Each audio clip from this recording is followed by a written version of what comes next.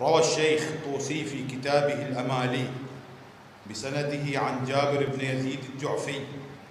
قال خدمت سيدي سيدنا الإمام أبا جعفر محمد بن علي عليه السلام ثمانية عشر سنة. تفت زين. خدم الإمام 18 سنة.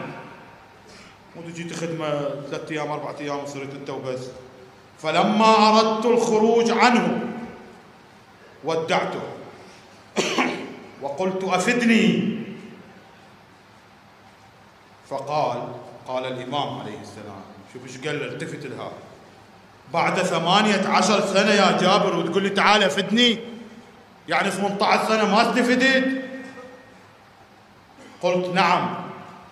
أنكم بحر لا ينزف ولا يبلغ قعره ولا يبلغ قعره.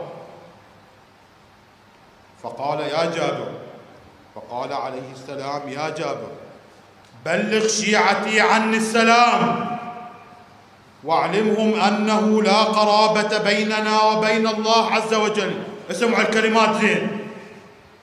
أبلغ شيعتي عني السلام. واعلمهم أنه لا قرابة بيننا وبين الله عز وجل. ولا يتقرب إليه إلا بالطاعة له عز وجل.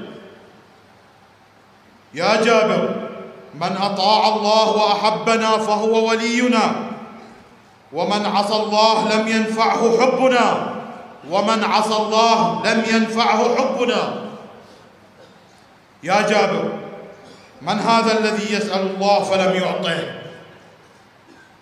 أو توكل عليه فلم يكفه؟ أو وثق به فلم ينجه؟ جل جلاله.